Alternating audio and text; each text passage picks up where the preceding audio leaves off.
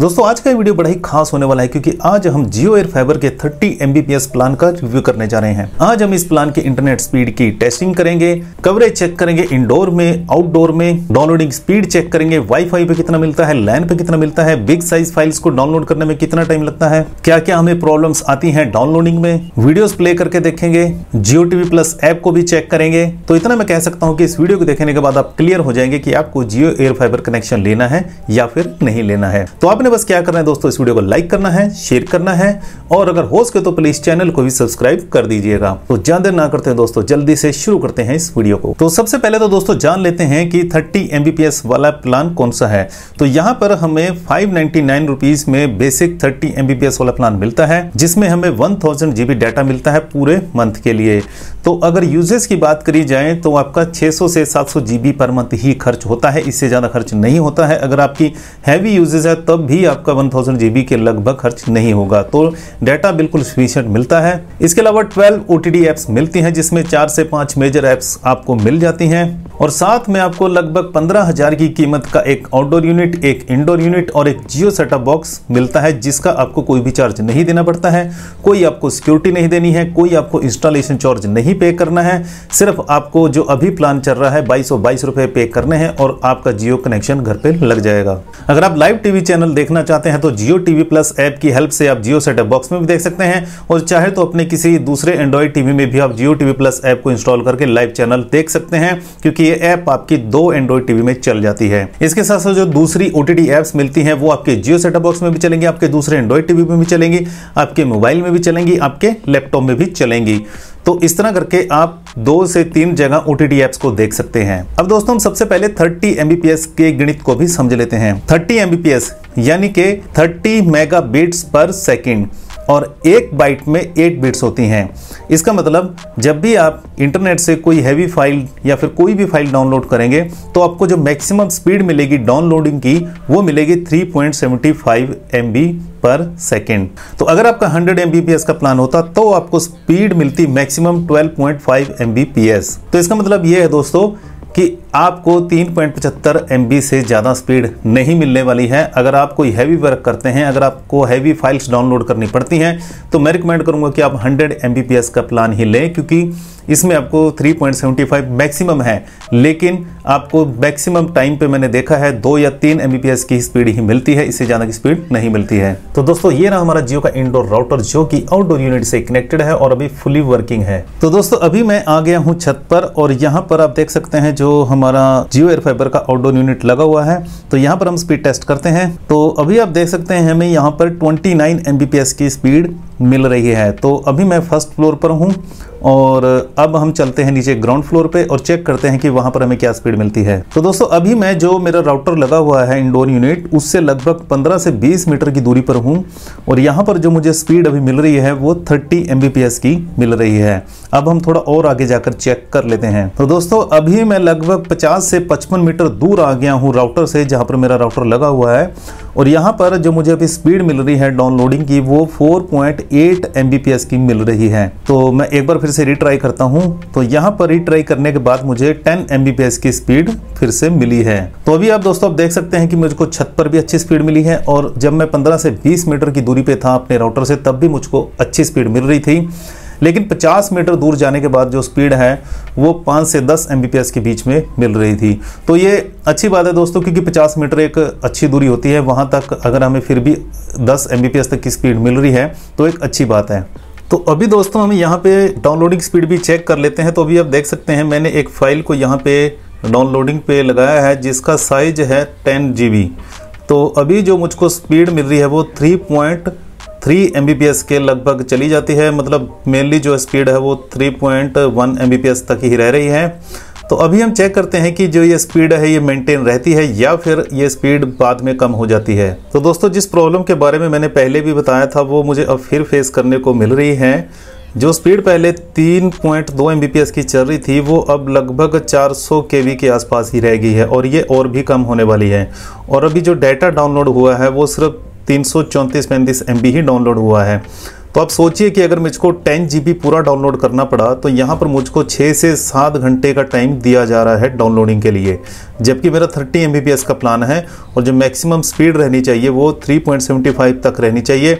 और ये मैं किसी वेबसाइट से डाउनलोड नहीं कर रहा हूँ, ये गूगल ड्राइव से ही डाउनलोड कर रहा हूँ तो अपलोडिंग या फिर तो डाउनलोडिंग स्पीड का भी कोई इशू नहीं रहना चाहिए। तो ये तो जो मेरी डाउनलोडिंग चल रही थी, ये वाईफाई से चल रही थी। अब मैं एक बार इसमें लैन कनेक्शन करके देखता हूँ कि क्या लैन कनेक्शन पे भी हमें ये सेम प्रॉब्लम आती है डाउनलोडिंग में। तो दोस्तों, यहाँ पे मैंने लैन केबल कनेक्ट कर दी है अपने लैपटॉप के साथ। और अब मैं डाउनलोडिंग स्पीड आपको चेक करवा देता हूँ। तो दोस्तों, आप देख सकते हैं कि जो पहले 400 सौ, साढ़े चार सौ की स्पीड हमें वाईफाई पर मिल रही थी, वो लैन केबल लगाने के बाद फिर से 3.2 3.3 एमबीपीएस की हमें मिलनी स्टार्ट हो चुकी है। और जो पहले 6 से 7 घंटे का टाइम हमें दिख रहा था डाउनलोडिंग के लिए वो अब 49 50 मिनट्स का यहाँ पे रह चुका है। तो इसका मतलब है कि लैंड केबल में, मैं दोबारा से अच्छी स्पीड मिलनी स्टार्ट हो चुकी है, लेकिन देखते हैं कि कितनी देर तक ये स्पीड मिलती है, हो सकता है ये फिर से कम हो जाए। तो दोस्तों, यहाँ पर लगभग हमारा वन जी डाटा डाउनलोड हो चुका है और स्पीड अभी भी 3.1 3.2 एमबीपीएस की बनी हुई है। तो इसका मतलब ये साफ़ है दोस्तों कि अगर आप लैन केबल से हाईवी फ़ाइल को डाउनलोड करेंगे तो वो आपकी जल्दी डाउनलोड हो जाएगी। अगर आप वाईफाई से डाउनलोड करेंगे तो वो जल्दी ही आपकी 300-400 के की स्पीड ही रह जाएगी। और सेम दोस्तों, इसी तरह अपलोडिंग स्पीड भी वाईफाई पे थोड़ी देर बाद कम हो जाती है। तो आपको अगर कोई भी फ़ाइल डाउनलोड करनी है या अपलोड करनी है तो आपको लैन केबल लगाना पड़ेगा अपने कंप्यूटर में। तो यहाँ पर दोस्तों, अब मैं आपको एक बार जियो टीवी प्लस ऐप को भी चला के दिखा देता हूँ कि यहाँ पर हमें जो व्यूइंग एक्सपीरियंस है, वो कैसा मिलता है। तो भी आप देख सकते हैं, यहाँ पे हमारा कलर्स एचडी चैनल है, वो लगभग फुल एचडी क्वालिटी के अंदर यहाँ पे प्ले हो रखा है। किसी भी तरह का लैग यहाँ पे चैनल को प्ले होने में नहीं हो रहा है। क्वालिटी भी यहाँ पे ज़बरदस्त आ रही है। और अगर हम किसी दूसरे चैनल को यहाँ से जाके प्ले करते हैं तो वो भी इंस्टेंटली ही प्ले हो जाता है। तो चैनल स्विचिंग में भी यहाँ पे कम ही टाइम लगता है। बशर्ते कि आपको किसी ऐप के अंदर चैनल जाकर देखना ना पड़े, जैसे कि G5 ऐप में या फिर हॉटस्टार में। तो दोस्तों, हम यहाँ पर एक बार यूट्यूब को भी चला के देख लेते हैं। तो अभी जो हमारा कंटेंट प्ले हो रहा है, वो 720p 60 फ्रेम पर सेकंड में हो रहा है। अभी हम इसकी क्वालिटी को यहाँ से मैक्सिमम पे सेट कर देते हैं। तो लीजिए दोस्तों, यहाँ पे आप जो क्वालिटी है वो मैक्सिमम 4K पे सेट कर दी गई है और आप यहाँ पे क्वालिटी चेक कर सकते हैं कि 4K कंटेंट की हमें बहुत ही बढ़िया मिल रही है। किसी भी तरह का लैग हमें यहाँ पे 4K वीडियो चलाने में नहीं मिल रहा है। बिल्कुल स्मूथ यहाँ पे वीडियो प्ले हो रहा है। अभी दोस्तों, हम उकला की ऑफिशियल ऐप से भी वीडियो टेस्टिंग करके देख लेते हैं कि आप कितनी क्वालिटी तक का वीडियो इस वाईफाई इंटरनेट के ज़रिए प्ले कर सकते हैं। तो यहाँ पे जो हमारी टेस्टिंग है वो स्टार्ट हो चुकी है, आप देख सकते हैं। तो यहाँ पर दोस्तों आप देख सकते हैं कि a maximum resolution of 2160 P यानी कि 4K वीडियो आप इससे प्ले कर सकते हैं किसी भी लार्ज फ़ोन पे लार्ज टैबलेट पे लार्ज लैपटॉप पे और टीवी पे। तो दोस्तों, इस वीडियो में हमने इस 30 एम प्लान के बारे में डिटेल से जान लिया है। हमने इसके स्पीड की इंडोर टेस्टिंग कर ली है आउटडोर टेस्टिंग कर ली है डाउनलोडिंग स्पीड की टेस्टिंग कर ली है वाईफाई पे कितनी स्पीड मिलती है लैन पे कितनी स्पीड मिलती है यूट्यूब पे 4K कंटेंट चला के देख लिया है जियो टीवी प्लस में हमने इसको चला के देख लिया है। लगभग सभी तरह की टेस्टिंग हम इसकी कर चुके हैं। अब जो कुछ मेजर प्रॉब्लम्स मुझे इसमें नज़र आई है, वो मैं आपको बताने वाला हूँ। अगर आपके लिए वो प्रॉब्लम्स मैटर नहीं करती है तो आप इस कनेक्शन के लिए जा सकते हैं। तो जो सबसे पहली प्रॉब्लम मुझे इस कनेक्शन में लगी, वो है कि हमें इसमें कोई मिडल का प्लान नहीं मिलता है। या तो हमें थर्टी एमबीपीएस का प्लान मिलता है, या फिर सीधा डायरेक्ट हंड्रेड एमबीपीएस का ही प्लान मिलता है। बीच में कम से कम फिफ्टी एमबीपीएस या फिर सिक्सटी एमबीपीएस का प्लान होना चाहिए था, चाहे आप प्राइस हंड्रेड या फिर वन फिफ्टी एक्स्ट्रा ले लेते।